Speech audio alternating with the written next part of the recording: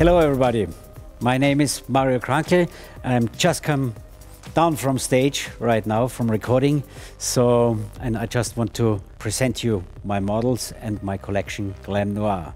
So, because we wanted to show up a variety of different kind of shapes and maybe different kind of themes because if we have a look at fashion so disco is quite strong. And what also happens in fashion is also return a little bit of the gothic the black theme.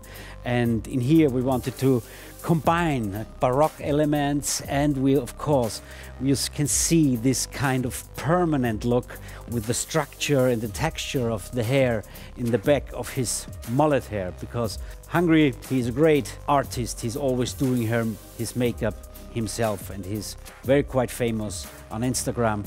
And you can see underneath the tinsel hair and then on top the short fringe and this kind of punky short hair look and then in the back we have this kind of permanent texture so to break a little bit this classic and soft baroque theme and I think that's a great break and with a transparent mask so it gives a little bit about something futurism and this we wanted to show with Hungry's style.